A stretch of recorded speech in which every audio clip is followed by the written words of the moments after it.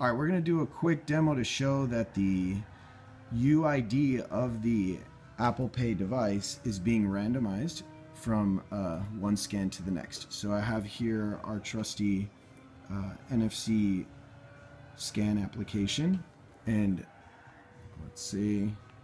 Okay, so we scanned it once and the UUID is currently being read as let's see if we can zoom in on that as 08D6571E and we'll do this one more time